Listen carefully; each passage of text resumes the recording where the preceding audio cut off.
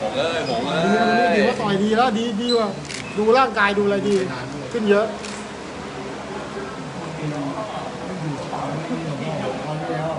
มันเป็นเหมือนนะคุณลูกมากมีผมผมบอกมันเตะเตะแล้วมันนะเตะขาดลื่นเสียเสียตกคือคือช่วงปลายยกห้าเนี่ยทีมงานบอกไม่ต้องเดินแล้วใช่ไหมครับ คือดูหน้าผ่านใช่ไหมครับ อืมแล้วก็เดินทันนะ ครับ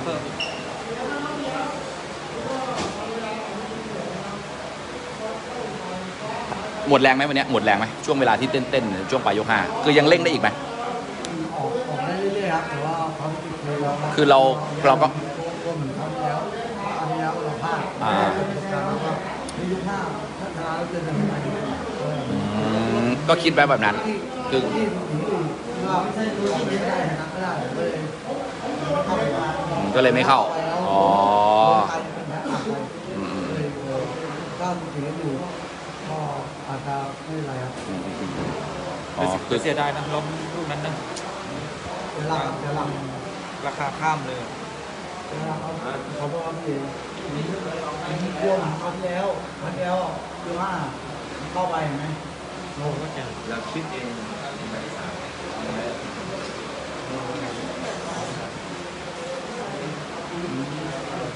เจอกันใหม่ได้ ลองวัดไปเรื่อยๆเหมือนเดิม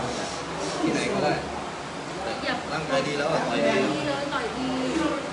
ต้องซีเรียสเดี๋ยวเจอกันใหม่จัดให้ใหม่อยู่แล้วต่อยสนุกแบบนี้เพื่อ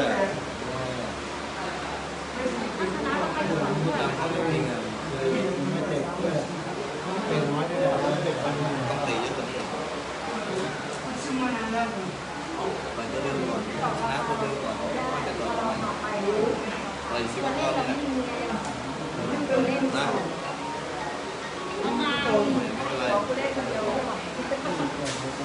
หง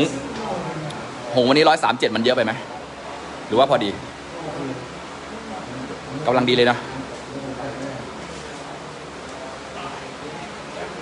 อะ ก็ประมาณนี้ อะศิวกรเกียรติเจริญใจสวัสดีครับ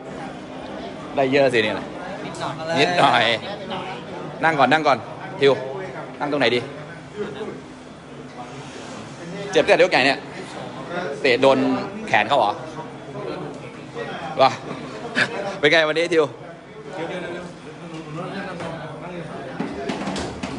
อ่านั่งล่างนั่งล่างนั่งล่าง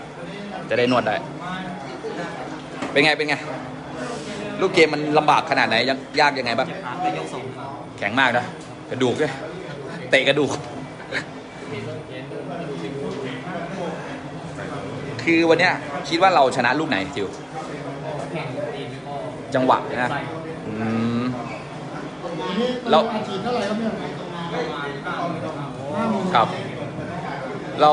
ช่วงช่วงปลายยกห้าที่เขาเดินเตะได้อะจังหวะนั้นเสียวไหมมีหวั่นบ้างไหมว่า ก็พยายามคุมเกมใช่ไหมอ๋อ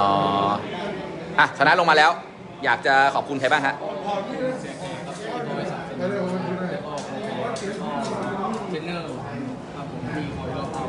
ครับอาทิตย์สองหมื่นใช่ไหมเห็นเขาบอกอยากอยากจะถอยสักไฟต์พิกัดเดิมเราว่าไงบ้างพิกัดร้อยสามเจ็ดอ๋อโอเคนะอะขอบคุณมากครับยังไงนี่ถึงว่ากระดูกโคตรแข็งเลยเตะเตะไปนี่เจ็บเองเลยเอาละแต่ก็ถึงจะแข็งยังไงก็ชนะลงมาได้นะ